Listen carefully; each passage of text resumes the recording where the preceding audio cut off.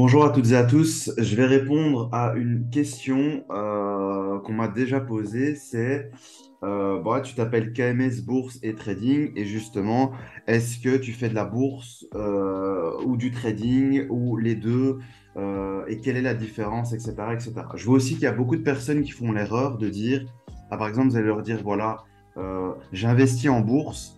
Et il y en a qui vont vous dire, ah, trop bien, et tu es chez quel broker, tu, est-ce que tu, fais sur les cryptos, etc. En fait, ils confondent le, le- le- ils font pas la différence entre un investisseur et un trader. Pour déjà mettre, euh, pour ceux qui s'y connaissent un peu, on peut déjà faire la différence, par exemple, entre Warren Buffett et Jérôme Kerviel. Ce que fait Jérôme Kerviel n'est pas ce que fait Warren Buffett. Et l'objectif de Warren, de Warren Buffett n'est pas l'objectif de Jérôme Kerviel. D'accord? C'est deux fonctions différentes. Ils ont un point commun, c'est les marchés, euh, les marchés financiers. Ça, c'est le point commun, c'est-à-dire qu'ils vont tous les deux intervenir sur les marchés financiers, mais pas avec les mêmes objectifs et pas avec les mêmes méthodes.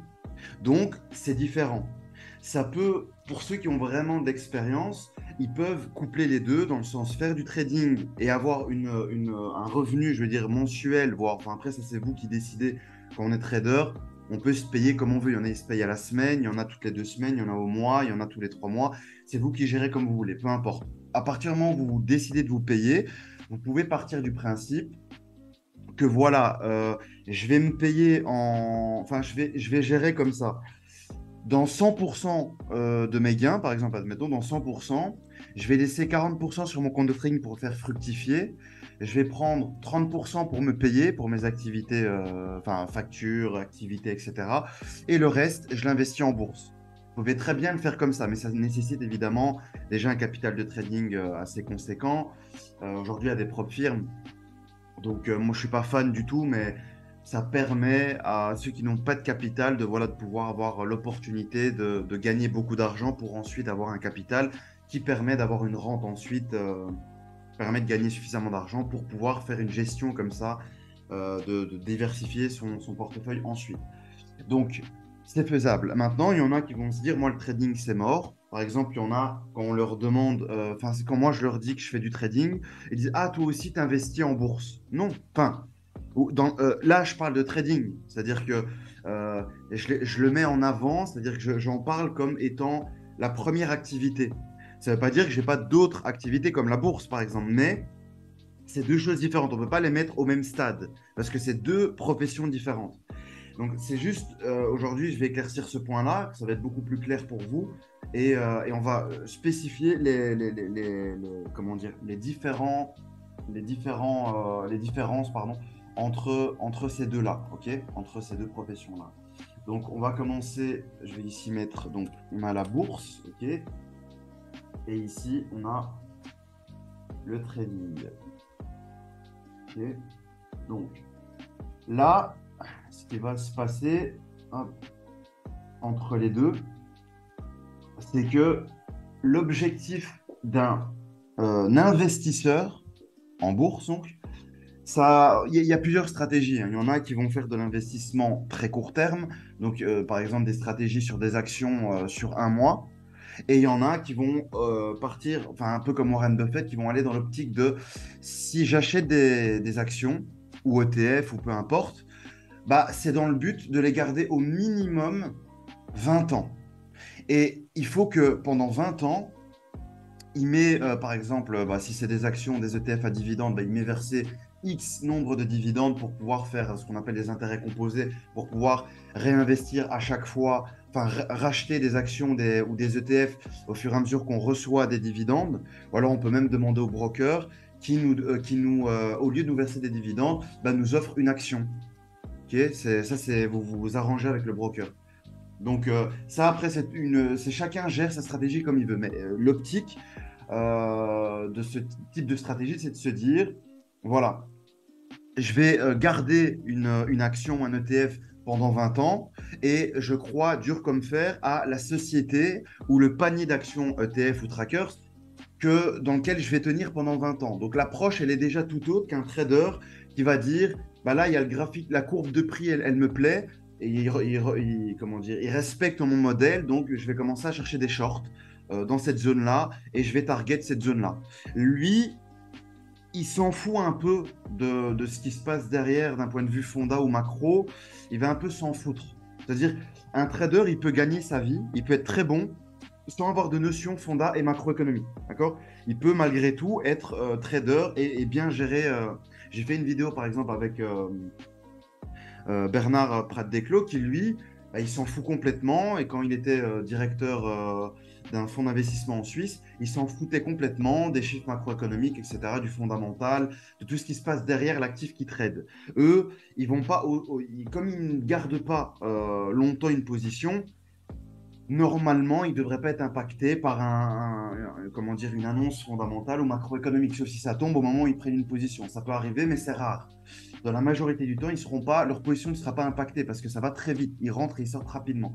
Par contre, quelqu'un qui va investir en bourse, euh, lui, forcément, sur 20 ans, en 20 ans, il va se passer énormément de choses. Il va se passer le Covid, il va se passer, euh, comme en 2008, euh, la, bulle immobilière, il va se passer plein de choses. il va se passer du carry trade avec les différentiels de taux d'intérêt, etc. Donc, il va se passer beaucoup de choses qui va un peu impacter son portefeuille par rapport au change, par rapport à l'évolution du prix, etc. Donc déjà, la gestion de portefeuille d'un investisseur en bourse ne va pas être le même que celui euh, d'un trader. Donc là où eux, ils vont se rejoindre à un moment donné, mais pas à 100%, c'est justement donc l'investisseur long terme et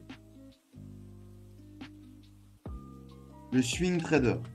Ces deux-là, et encore, parce qu'il y a des swing traders qui ne font que euh, du euh, graphique de prix, et ils ne comprennent rien du tout au fonda ou à la macro, ils vont pas commencer à, chercher à se hedger, etc.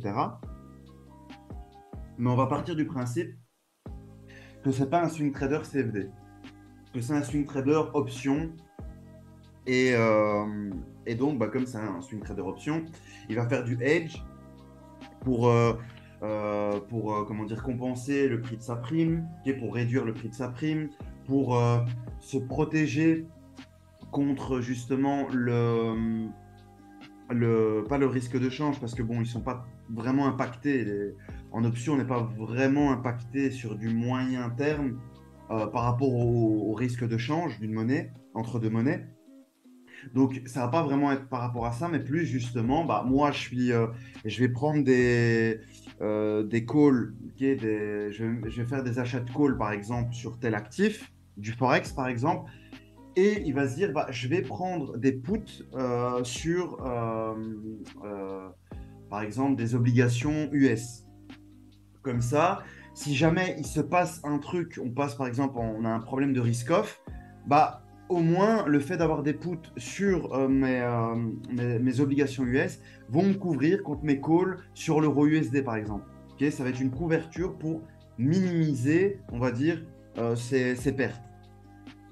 Puis il y a aussi le fait, le, comment dire, le, euh, le fait d'avoir euh, un peu de, de JVP USD, enfin du câble, un peu de Rodol, euh, on peut se dire, voilà, s'il y en a un qui part plus fort, d'un point de vue donc volatilité cette fois, part plus fort, bah, au moins je gagnerai plus sur cette paire que sur l'autre. C'est une autre manière aussi de voir les choses. En fait, il y a plusieurs combines à faire, mais la combinaison de l'investisseur en bourse nécessite plus de connaissances en fondamental, en macroéconomie, en, études des, sociétés, euh, la compréhension de l'économie des, continents, etc., les relations économiques, etc., les, couvertures aussi, avoir les notions de couverture pour justement se hedger euh, d'un point de vue donc sur le risque de change, sur le fait de diversifier son portefeuille, sur justement les actifs, donc avoir des actifs avoir une quantité de matières premières, une quantité d'obligations US, une quantité euh, d'actions euh, avec plusieurs devises, prendre évidemment une part d'actions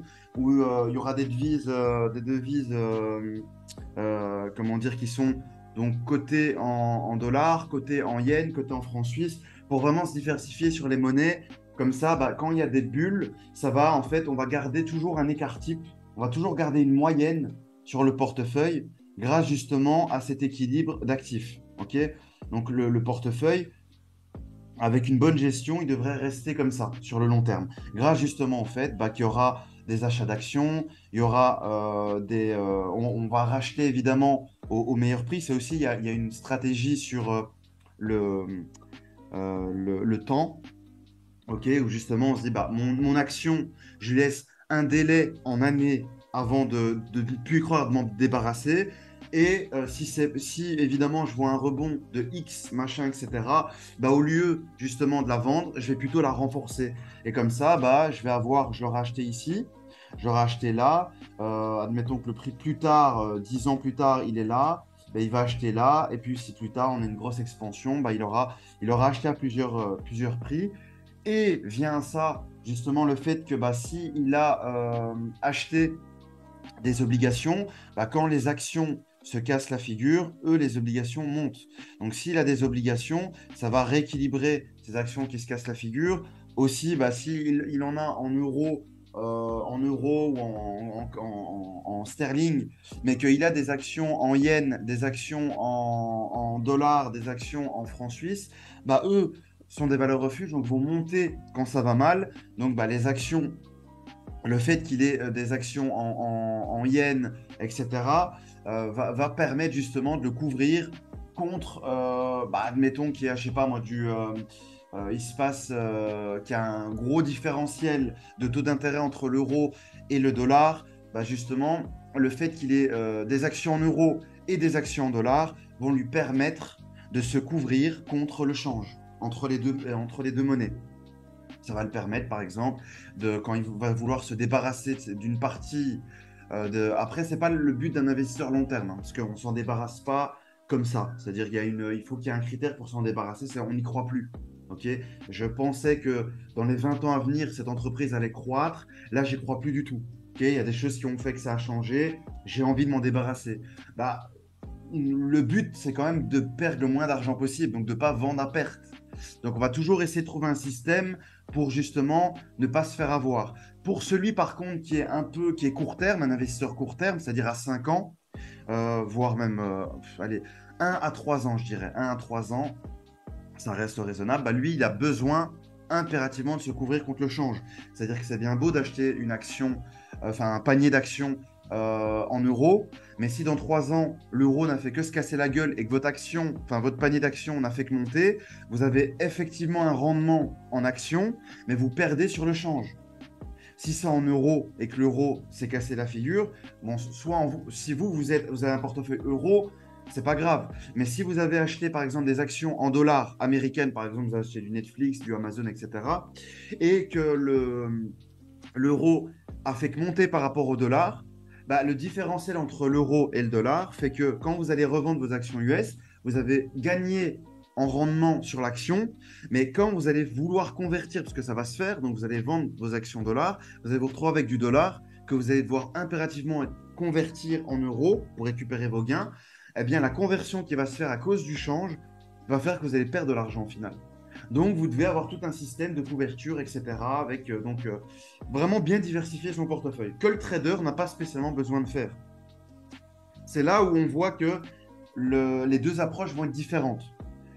Le trader, déjà, va utiliser donc des produits, ça va beaucoup être CFD, options, futures, euh, turbo, mais c'est beaucoup plus rare. Il y a les warrants, mais alors que l'investisseur en bourse va vraiment utiliser les actions, les ETF et les obligations. Euh, après, ils peuvent acheter en physique de l'or, enfin des matières premières en physique. Mais ça, c'est différent encore. C'est autre, une autre approche. Donc, les produits, déjà, les produits financiers vont être différents. ok? Le trader, bah, il y a ceux qui sont sur CFD, il y a ceux qui font que du futur, plus le scalper, le, euh, c'est plus pour faire du scalping. Les options, plus pour faire. Bon, les options, on peut faire et du scalping, et de l'intraday, et euh, du swing. Donc, euh, ça permet d'avoir un panel plus grand. Et les options binaires, mais bon, personne ne fait ça. Enfin, j'espère. Peut-être qu'il y en a qui ont trouvé des failles, vraiment des, des fous furieux qui ont trouvé une faille pour faire des dingueries avec. Mais personne de vraiment rentable gagne sa vie avec des options binaires. En tout cas, j'en connais pas. Donc, ça, ça va vraiment être les outils que le trader va utiliser. Ensuite, le trader va intervenir, et c'est là où il y a des points en commun avec euh, la bourse et le trading, bah, le trader, il peut, il a un effet de levier déjà. Donc les produits qu'il va utiliser, il va utiliser des effets de levier que l'investisseur en bourse long terme ne veut pas spécialement. Parce que s'il y a du levier, il y a de l'appel de marge. S'il y a de l'appel de marge, il y a du stress. Donc euh, on peut perdre plus que ce que plus que ce qu'on a investi vu qu'on utilise de l'effet de levier. Donc on demande à avoir plus d'argent, plus de marge qu'on en a. Donc ça devient déjà euh, pas intéressant pour un investisseur long terme qui lui veut garder un actif pendant 20 ans et peu importe que ça monte, que ça baisse, il, veut le garder lui, il veut vraiment le garder sur du long terme. Donc euh, s'il y a une baisse, si l'action elle perd énormément, bah, si lui il a de l'effet de levier dessus, il va flipper le mec, il va vraiment être mal. Donc c'est pas nécessaire pour euh, un investisseur long terme. Qu'un trader lui, comme il a une optique court terme et qu'il joue des mouvements de prix, ok, par exemple on va monter ici, hop, hop, hop, hop, bah lui il se dit voilà, à partir de là moi je veux vendre jusque là. C'est un bête exemple, hein. je veux vendre et je prendrai mes gains ici. Et il n'en a rien à faire du point de vue scondade de l'actif il s'en fout du change, il s'en fout de tout ça, il n'en a rien à faire, lui il veut juste rentrer, sortir de manière euh, assez rapide, sans pour autant comprendre ce qui se passe derrière l'actif, qui euh, les enjeux, etc. Il s'en fout un peu. Donc, c'est une toute autre approche. Donc, euh, ça, c'est plutôt le trader. Donc, l'investisseur long terme, lui, va vraiment plusieurs, il a plusieurs notions à maîtriser avant de pouvoir prendre faire un achat, en fait, pouvoir prendre une position, donc faire un achat. Et euh, aussi, il va pas mettre de temps, euh, il va pas passer du temps sur le graphique. Il va pas commencer, lui, à tracer des zones et dire voilà, si on en vient là, je vais faire tel truc, etc. Lui, il s'en fout un peu du graphique. Au moins, il passe de temps devant le graphique, au mieux, c'est pour lui. Ok? Donc, déjà là, il va passer très peu de temps devant les graphiques. Peut-être le regarder une fois tous les mois pour voir l'évolution du prix. même, il y en a peut-être une fois par an. Il y en a, ils ont peut-être euh, de l'immobilier, ils ont de la bourse, ils ont euh, plein de sociétés, ils n'ont pas le temps de tout le temps regarder le graphe et commencer à se mettre du stress pour rien. S'ils y croient sur 10 ans, 20 ans, bah, s'il a fait une mauvaise année, c'est pas ça qui va fausser votre investissement et la vision que vous avez sur l'entreprise. Donc c'est déjà encore une fois une toute autre euh, vision du marché. Que le trader, lui, bah, il va passer beaucoup plus de temps, il va surveiller ses positions, il doit avoir raison dans un laps de temps l'investisseur en bourse ne doit pas spécialement avoir raison tout de suite. S'il a acheté ici, il achète sur 20 ans, bah, si le prix pendant 5 ans, il fait ça avant de, avant de monter, bah, s'il y croit dur comme fer, euh, il s'en fout. Lui, au contraire, il aura acheté là, il aura acheté là, il y croit dur comme fer. Donc il s'en fout, il n'est pas impacté par ça. Donc ici, euh, le point commun, donc je disais, c'est les marchés. D'accord? C'est que bah, l'investisseur va acheter donc, des actions des actions d'entreprise donc, euh, que le trader va pouvoir spéculer sur aussi des actions d'entreprise. On peut spéculer, on peut spéculer sur, euh, sur euh, des actions comme Netflix, etc. On peut spéculer sur des indices. Et là, ce sera plutôt pour l'investisseur en bourse, ce sera plutôt des trackers, des ETF. Donc, le fait d'investir dans le CAC 40, le fait d'investir dans le S&P, c'est le fait justement de se dire, bah, moi, j'ai acheté un nombre euh, d'actions. Maintenant, il me faut des ETF pour me couvrir parce que les ETF, c'est le fait justement de regrouper les meilleures entreprises d'un pays. Et si on a une qui fait faillite dans l'eau, ben, il la remplace par une nouvelle. Donc, en soi, c'est assez euh, équilibré comme euh, système. Donc là, ça vous permet d'avoir voilà, une sécurité par rapport à une action qui n'en a pas, parce que si l'action elle tombe à zéro, vous avez tout perdu votre investissement, c'est fini, il n'y a pas de recours à faire, c'est fini. Alors que l'ETF, pour qu'il tombe à zéro, il faut que 5 actions, par exemple pour le S&P 500, il faut qu'il se passe une dinguerie, je ne sais même pas si c'est faisable, si c'est possible qu'elle tombe à zéro un jour. À moins qu'il y ait une guerre mondiale et que la bourse est finie, euh, on supprime complètement, la, finance n'existe plus, mais encore une fois, c'est pas de sitôt. Et si c'est le cas, ce sera pour tout le monde de toute façon. Tout le monde va, va, y, va, y passer. Donc euh, voilà. Donc, euh, donc voilà, les différents. Donc il y a des. Là, ce qu'on a en commun, ce que je vais mettre ici, c'est qu'il y a donc les actions. là, l'investisseur, ici, l'investisseur, il peut très bien. Euh, donc il peut acheter des actions comme le trader peut spéculer dessus. Jusque-là, il n'y a pas d'ambiguïté. Les ETF, on va mettre ETF indice parce que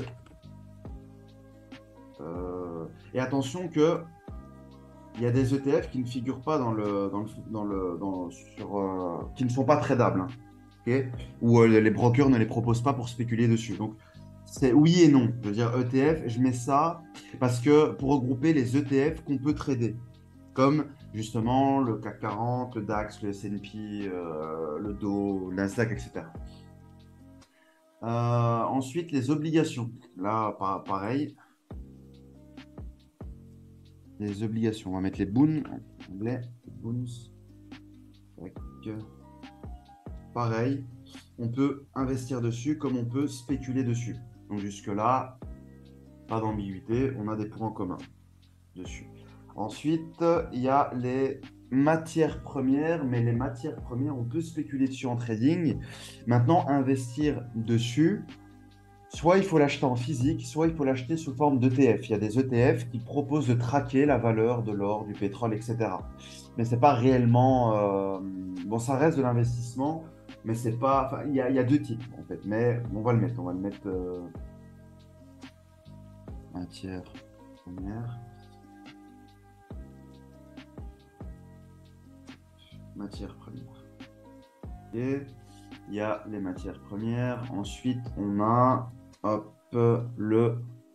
Alors, Forex, je n'irai pas là-dessus parce que, en fait, c'est pas, pas tel quel. C'est un investisseur long terme ne va pas acheter ou vendre euro-USD, mais il va utiliser les devises comme couverture comme couverture, parce qu'il y a des devises qui servent de valeur refuge, il y en a qui, enfin, euh, il y en a qui servent uniquement, bah, si je dis que moi j'ai quand même beaucoup d'actions US, mon portefeuille est en euros, il me faut absolument, euh, il faut vraiment que j'ai un équilibre entre les deux, quoi, parce que euh, quand je vais vouloir vendre mes actions en dollars pour les convertir en euros, je vais me faire éclater.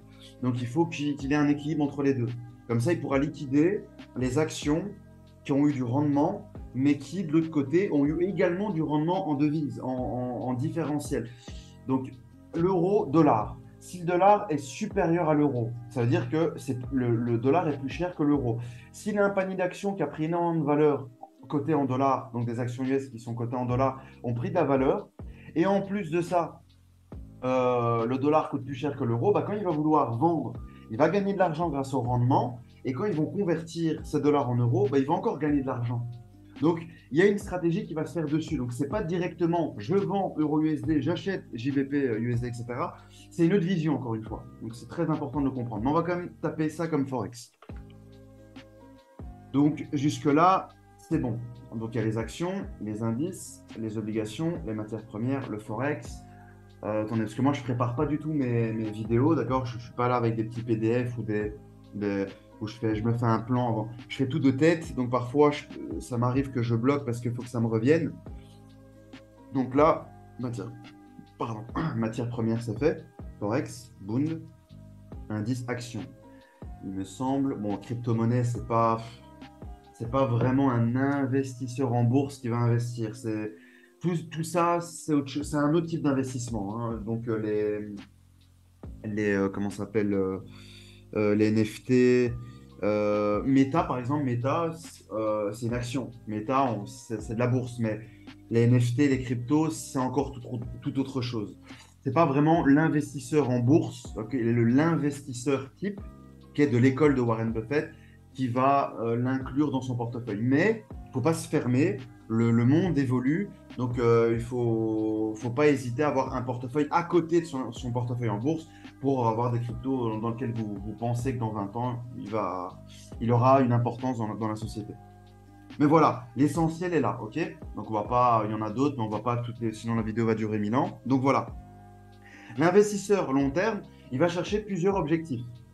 Enfin, il y a plusieurs types pardon d'investisseurs long terme parce que là, sinon c'est pas c'est pas cohérent. Il y en a qui vont simplement vouloir être rentiers avec des dividendes. Donc ils vont avoir un panier dans ce panier-là, il y aura des actions à dividendes. il y aura des actions. Il y aura des actions à dividendes. Il y aura des ETF à dividendes parce que oui, ça existe. Euh, matière première à dividendes, je pense pas que ça existe, j'en connais pas en tout cas. Les obligations, pareil, c'est tout. Donc il va avoir un panier d'actions et d'ETF à dividendes. Et il n'y a que ça qui l'intéresse. Il n'en a rien à kicker du reste. Il veut simplement garder à vie. Et ça, pour moi, c'est le pire. Euh, la pire stratégie, je vais vous expliquer pourquoi. Ça, leur objectif, c'est de garder donc un maximum d'actions d'ETF pour avoir, en, en avoir suffisamment dans son portefeuille pour avoir une rente tous les mois. Donc, c'est-à-dire que les dividendes qui vont lui être reversés, donc il faut savoir que dans les dividendes, il y en a qui sont mensuels, trimestriels et annuels. Donc, en plus de ça, il va chercher évidemment, pour celui qui veut un salaire tous les mois, ils vont chercher les dividendes mensuels. Il y en a très peu et ils ne sont pas prometteuses. Donc euh, voilà. Donc il y en a qui vont chercher ça, il y en a qui s'en foutent, il y en a à l'année ça leur convient. Si ça tombe chaque année, ça leur va. C'est eux qui, gèrent comme ils veulent. Il y en a qui préfèrent le mensuel, il y en a même euh, euh, semestriel. Donc voilà, c'est ça chacun gère comme il veut. Mais leur but, c'est que ils, vont gagner leur vie, ils vont devenir rentiers en bourse uniquement avec un panier d'actions et d'ETF à dividendes. Le pourquoi c'est la pire des stratégies à mon sens d'investissement Parce que si vous avez acheté pour 300 000, 300 actions et ETF, donc votre investissement donc de votre poche sur les années, vous avez investi pour 300 000. Et vous avez 3 000 euros de dividendes qui tombent tous les 3 mois. Et c'est rare. Hein. rare. Donc, vous avez 3 000 euros qui tombent tous les mois. Faites le calcul de combien de temps il va vous falloir pour rentabiliser votre investissement initial. Vous avez gelé 300 000 et vous allez récupérer après combien de temps? Eh bien, il suffit donc de... Euh, on va rajouter des zéros, d'accord? Premier zéro, ici on va le faire là. Donc 3000. Ok. Après, euh, donc là j'ai dit mensuel. Ok, on va partir, euh, pas mensuel, pardon, j'ai dit trimestriel, donc tous les trois mois. Ok, donc j'ai compliqué la tâche, ça aurait été mieux par année, par an, mais bon. Donc il faut 30 euh, 000. Donc il lui faut... Euh, non, ça honnêtement de tête. S'il y a des mathématiciens, Olivier, big up à toi. Ça fait longtemps qu'on... D'ailleurs qu'on t'a pas vu. Prof de maths, big up à toi. si tu sais le faire de tête, vas-y. Mais là, non, moi, je me suis, euh, je me suis perdu, en fait. Je partais du principe que mettre par zéro, j'allais compter euh, 10 ans. Mais je ne sais pas pourquoi. Donc, euh, donc j'aurais dit 20 euh, ans pour récupérer, mais ce n'est pas, pas, pas possible. Donc, non, je n'ai pas la réponse, mais très, très, très, très, très, ils vont mettre énormément d'années. Énormément d'années pour pouvoir récupérer leur mise initiale. Avant de seulement pouvoir bah, euh, une fois qu'ils ont rentabilisé, c'est de se dire, bah voilà, là je travaille réellement avec du bonus, quoi. C'est plus mon argent, j'ai sorti, je veux dire, mon risque. Donc j'ai réellement doublé mon capital en rente. Et donc maintenant, voilà, je peux, je peux, me je peux euh, simplement me dire que bah, euh, j'ai fait un bon investissement, on va dire. Voilà. Je suis pas resté en droit. Mais c'est très rare, encore une fois, parce que votre portefeuille là, c'est rare, euh, enfin, il, sera d'office en dessous de 300 000 euros. Parce que le problème, c'est que les actions et indices, enfin, les, ETF et les actions à dividendes, souvent, justement, c'est pour motiver des investisseurs où ils, versent des dividendes assez élevés. Parce que l'action va mal. C'est la carotte au bout du fil, quoi. Et le problème, c'est que c'est rarement des actions à rendement. Donc, c'est-à-dire que quand vous l'achetez, par exemple, vous l'avez acheté, vous en avez acheté pour 1000 euros, c'est très rare qu'il va en valoir 2000 euh, ou 3000 plus tard. Souvent, il stagne, euh, il va être plus bas, il va, voilà, il va être comme ça. Donc, vous n'aurez pas de rendement, vous allez perdre de l'argent sur votre investissement et il va falloir beaucoup, beaucoup d'années pour le rentabiliser ensuite. Voire peut-être jamais. Vous allez peut-être jamais rentabiliser. Donc, pour moi, c'est le pire, la pire stratégie à faire. Ensuite, il y a bah, la meilleure, à mon sens, hein, celle de Warren Buffett, ou Warren Buffett ou d'autres. Il y en a de très bons qui sont pas connus, euh, qui sont des très, bons, euh, des très bons investisseurs, où là, euh, ils vont plutôt chercher à avoir un équilibre complet. Donc, avoir et des actions et ETF à rendement, donc qui ne versent pas de dividendes, où là, ils veulent un rendement. Ils vont avoir également la même, mais pour des dividendes, ok, où cette fois ils veulent euh, donc une partie qui verseront des dividendes. Ils utiliseront les dividendes pour acheter des actions à rendement euh, et ils vont avoir, ils vont diversifier, c'est-à-dire que dans leur portefeuille, ils vont avoir tout ça pour justement avoir un équilibre complet. Vraiment se diversifier de manière intelligente, avec un seuil de pourcentage où il faut tel pourcentage de matières premières, tel pourcentage de, monnaie, etc., etc. Et eux visent donc à avoir, bah, euh, par exemple, leur investissement initial de 100 000. Bah, ils veulent passer à 200 000, puis 300 000, et puis faire des intérêts composés. Et dans 20 ans, bah, passer de 100 000 à 1 milliard, pourquoi pas. Donc euh, ça, c'est beaucoup plus cohérent, beaucoup plus euh, on va dire. Donc, que juste acheter des actions à dividendes et dire voilà, je vais être rentier, sauf que mes 300 000 que j'ai investis à la base, je ne les récupérerai jamais. Donc, ça c'est pour ce qui est donc de l'investisseur long terme. Évidemment, il y a aussi l'investisseur court terme, hein, qui lui peut très bien faire des stratégies graphiques de prix. Donc, il va avoir une action et lui, il a sa stratégie, il a ses outils, etc. Il dit voilà, l'action, euh, là pour moi, mon sens, on est, euh, il y a une moyenne de prix ici, on est au-dessus, donc pour moi, ça va retracer. Donc, je, j'achète un panier de 100 actions et je vais le tenir pendant un mois ou deux. Et puis, parce que oui, vous pouvez euh, vendre des actions avec le produit financier des. que je ne dise pas de bêtises. Euh, comment ça s'appelle encore ça Punaise, comment ça s'appelle euh, comment, on appelle ce produit? Je ne sais plus.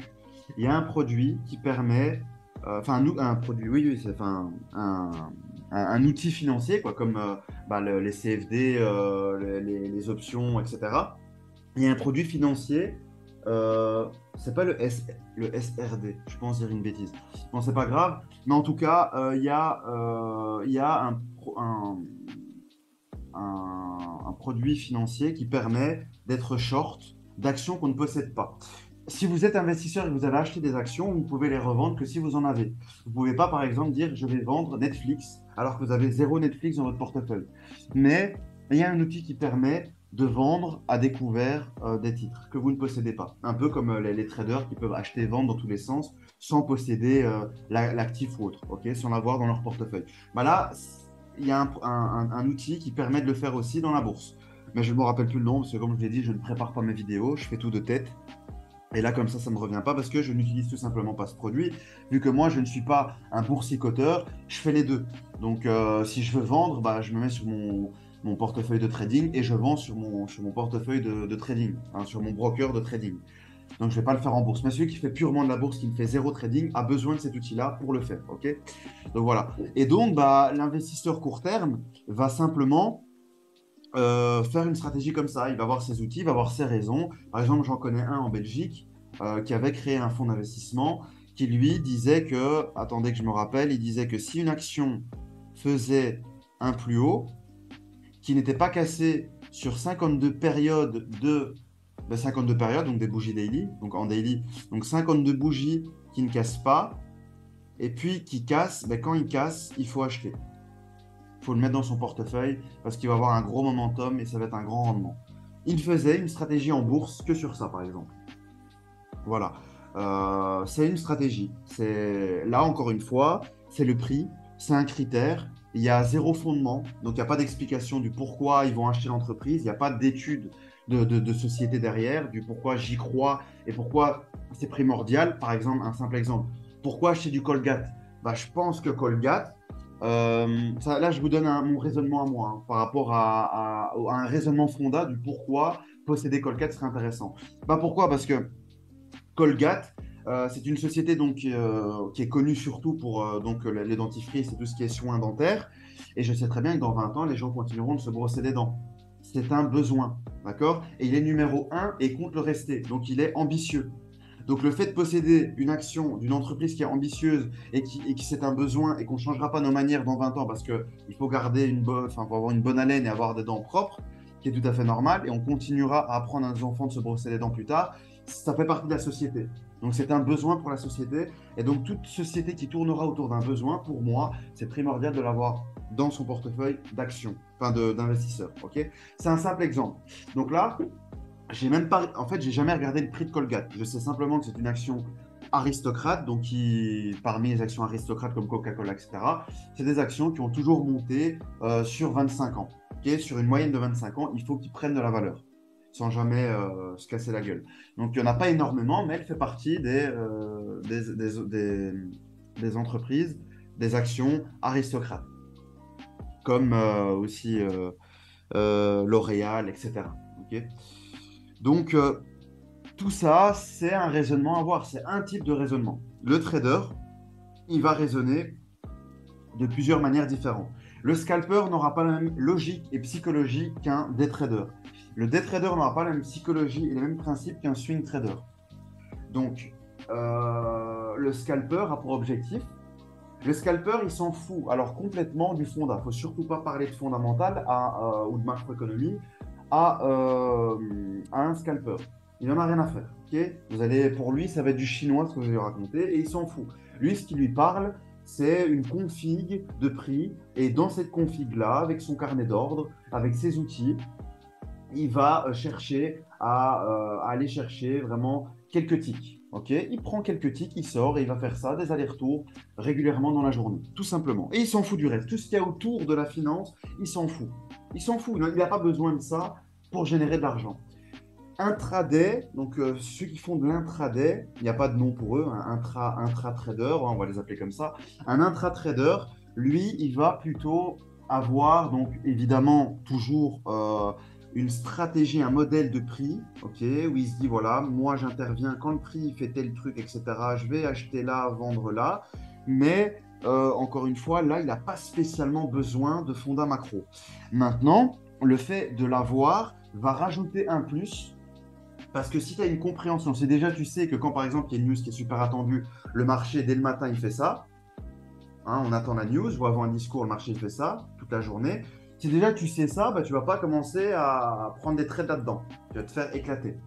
Donc, tu évites de prendre des trades, évidemment, quand euh, le marché attend euh, une news importante. Le marché est toujours calme avant une news, il faut le savoir. Et elle est toujours un peu volatile la veille, quand on cherche à déboucler, etc., à déboucler les positions, à s'apprêter au fameux discours, etc. Même s'il price ça un mois à l'avance. Mais après, il faut rééquilibrer un peu, parce que parfois, entre-temps, il s'est passé des choses. Donc voilà. Euh, donc ici, euh, l'intra-trader, lui, euh, s'il se base que sur le prix, bah, il pourrait se faire avoir. Enfin, quand, il se fera avoir par rapport à une news qui va tomber, ou par rapport à un discours, par rapport à, par rapport à un, commentaire d'une personne qui est influente dans le monde euh, politique, etc., ou de la finance, une banque centrale ou un politicien, va, va balancer une info qui va être pricée immédiatement bah, sa stratégie, elle va être faussée. Il va se faire SL et il va pas comprendre pourquoi.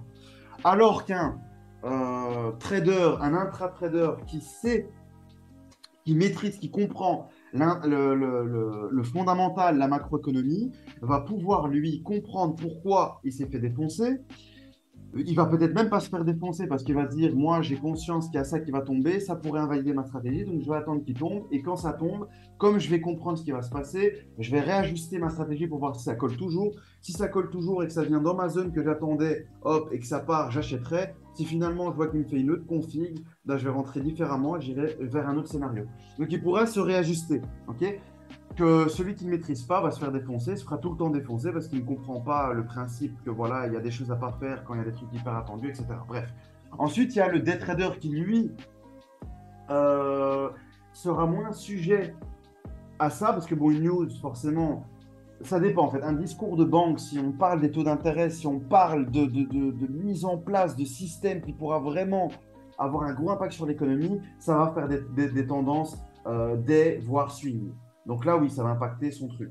Mais si c'est une simple news, bah lui, voilà, s'il y a un graphe H4, hop, il rentre là, il met un stop loss ici. Bah, même si c'est une news qui fait du bruit, euh, en soi, ça va pas vraiment invalider son scénario. Mais le fait de maîtriser le, le, fonda et la macro, justement pour trouver les tendances, parce que c'est quand même ce qui fait les tendances, c'est quand même euh, voilà les, les, news, le contexte, le contexte, etc. Et le contexte, comme par exemple là, ce qui se passe avec, euh, avec le, dollar qui n'arrête pas de monter comme, comme, comme pas possible, bah, ça a d'abord été le Russie-Ukraine, ensuite il y a eu ce problème d'inflation, il y a eu la hausse des taux d'intérêt, tout ça a envenimé, tout ça a fait que euh, le, dollar a fait monter. Je l'ai dit dans mes précédentes vidéos, regardez mes précédentes vidéos, j'ai dit que le dollar n'est pas prêt, n'a pas fini de monter. Si Russie-Ukraine continue, si le problème d'inflation continue, et résultat, ça arrive. Comment j'ai pu savoir que la tendance hyper long terme, moi que je fais pas du hyper long terme, allait pour, se poursuivre. Bah, c'est une info magnifique pour un swing trader, ça.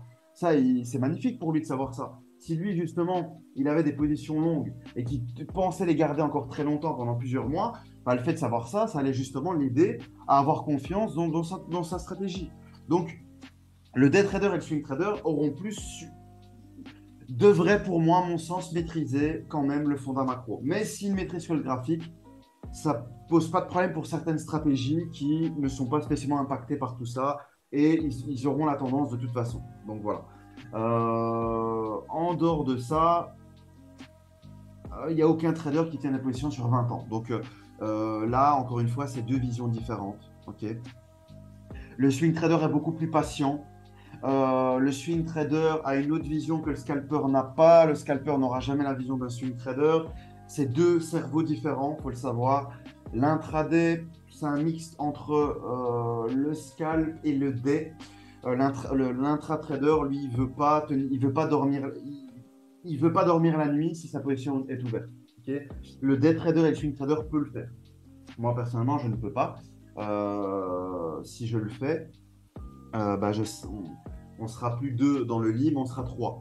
Il y aura moi, ma femme et les marchés donc, euh, et ma position plutôt. Donc ça, c'est pas possible pour moi parce que ma psychologie, mon cerveau ne le permet pas. Donc ça, c'est une question de personnalité, de, psychologie. Ça, c'est chacun est comme il est. Moi, ça me convient pas. Je ne peux pas dormir si j'ai une position ouverte. J'aurais bien trop peur qu'un jour je me lève. Euh, je sais qu'il n'y a pas de stop garantie, c'est du fake, tout ça. certains brokers, l'élite des brokers le font mais il y a des brokers qui ne, qui ne permettent pas d'avoir de, un stop loss garanti. Et s'il y a un flash crash pendant la nuit parce qu'il s'est passé une dinguerie, j'ai plus de compte et c'est pas possible pour moi de dormir en, ayant ça en tête. Sur option, ça n'arrive pas. Sauf que je ne suis pas un trader d'options. Mais pour ceux qui font du trading d'options, peu importe, ils n'auront jamais ce problème-là. Mais pour ceux qui sont sur d'autres produits, ça peut faire très très mal. Donc voilà. Moi, c'est scalping intraday qui me plaît et euh, je fermerai toujours mes positions le soir au fixing avant d'aller dormir, dans tous les cas. Ou alors, c'est que j'ai allégé ma position et que je me suis mis break-even, mais que je l'ai allégé, que j'ai vraiment pris une grosse partie de mes gains et je laisse tourner la suite. C'est très rare, mais ça peut être le cas pour, euh, voilà, pour, euh, pour comment dire, se dépasser, se surpasser, pour travailler un peu justement ce côté psychologique, à tenir une position, etc. Voilà, ça peut être cool, mais c'est pas vraiment mon truc. Donc très important de comprendre que même dans le trading, il y a plusieurs profils différents, que chaque trader est différent. Et, euh, on n'en parle même pas avec le, boursicoteur, celui qui fait de l'investissement en bourse, qui lui est encore plus différent que le trader, qui lui a une autre optique, a d'autres objectifs que le trader Le trader, il va pouvoir se payer. Le trader, il cherche à se payer soit tous les mois, soit... Alors que l'investisseur en bourse va a peut-être une activité à côté et il prend une partie de ses gains qu'il va investir sur le long terme. Après, oui, il y a aussi deux types il y a celui qui n'a pas de capital initial et qui va le construire avec les années. Donc tous les mois, il va se dire, moi, je vais mettre 200, 300, 400 euros tous les mois euh, dans telle action et bah, je fais ça pendant 10 ans et dans 10 ans, bah, j'aurai un portefeuille comme ça qui me permettra de, etc. Et il y aura l'autre qui a déjà beaucoup d'argent mais qui ne sait pas quoi en faire et qui pourra dès le début avoir un gros investissement, donc un gros portefeuille en bourse et lui vise encore une fois une autre approche. C'est encore une fois, euh, euh, on, est tous différents, on ne commence pas de la même manière dès le début. Il y en a qui commencent avec beaucoup d'argent, il y en a qui commencent avec un moyen patrimoine, il y en a qui commencent avec rien du tout, et en fonction de ça, ben, il faut s'adapter, faire une stratégie qui correspond avec ce qu'on a euh, comme, comme budget. ok? Voilà, donc là je suis en train de réfléchir si je n'ai rien oublié, je ne veux pas que la vidéo dure mille ans et j'aimerais quand même avoir répondu aux questions euh, sur justement la différence entre la bourse et le trading.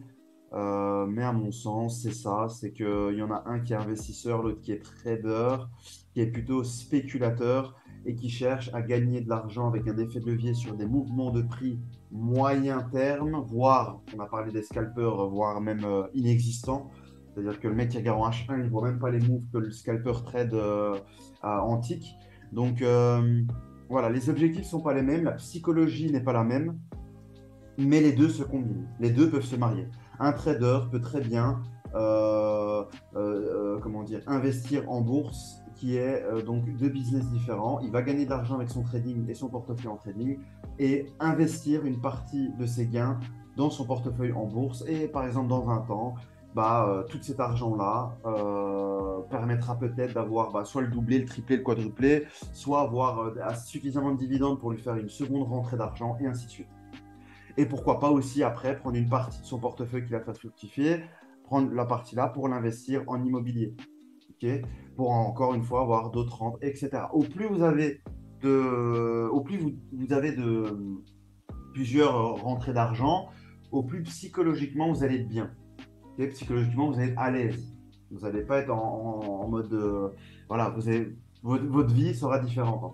Vous allez vraiment pouvoir vous organiser de manière différente parce que vous avez plusieurs rentes. Vous pouvez vous dire voilà, à partir de maintenant, bah, je gagne suffisamment d'argent avec, mon, avec ma, mon, mon portefeuille en bourse qui m'a permis j'ai vendu une grosse partie de mes actions que j'avais achetées il y a 10 ans. J'ai pu acheter un immeuble euh, de, de 6, personnes qui me permet maintenant de gagner de l'argent. Ben maintenant, avec cet argent-là, eh ben, euh, cet argent-là me permet de vivre, paye tous mes factures, etc. avec. Mon trading, j'y touche plus et je vais faire fructifier mon capital pour qu'il soit assez conséquent pour que ça devienne un fonds d'investissement que je ferai gérer avec une grosse équipe de traders pour être comme euh, Warren Buffett, avoir vraiment un fonds de plusieurs milliards, etc. Vous gérez comme vous voulez, mais ça devient plus accessible quand vous avez tout ça derrière. Toute cette, euh, ça, c'est un businessman, un pur businessman, surtout si vous êtes jeune. C'est ça, c'est la finalité, c'est ça. Ok. Voilà pourquoi je m'appelle KMS Bourse et Trading parce que les deux me passionnent et les deux sont nécessaires à mon, à mon sens. Et j'aimerais qu'avec ces deux-là, j'en vienne à investir dans d'autres business plus tard et avoir comme objectif que KMS Bourse et Trading soit un grand fonds d'investissement, ok, et soit géré par une équipe de traders parce que ça me passionne, cette énergie qu'il y a dans les salles des marchés, etc. Euh, j'ai pas pu faire les études que je voulais pour introduire justement un fonds d'investissement. Donc tant qu'à faire, si c'est pas gérer l'argent de quelqu'un, bah, ça sera gérer mon propre argent et avec une équipe de traders où on se motivera ensemble et euh, on essaiera de faire un, gros truc ensemble. Et puis voilà, c'est un objectif que j'ai en tête. Je me laisse un délai pour, y arriver. Et puis voilà, mais encore une fois, c'est euh, pour y arriver, il faut se diversifier. on peut très bien arriver qu'avec le trading, mais ça ira beaucoup plus vite si on se diversifie. ok? Donc voilà, voilà mon, explication sur la bourse. J'ai pas été, euh, j'aurais pu rentrer plus dans le détail, mais alors c'est une vidéo de 3 heures et c'est pénible, et c'est très long 3 heures. Donc euh, j'aurais pu rentrer dans le détail, etc., de vraiment détailler euh, différentes stratégies, différents actifs, etc. Mais voilà, c'est pas c'est pas le but de cette vidéo, c'est simplement expliquer la différence, quelques différences entre le trader et l'investisseur. Donc voilà, merci d'avoir regardé cette vidéo et je vous dis à très bientôt.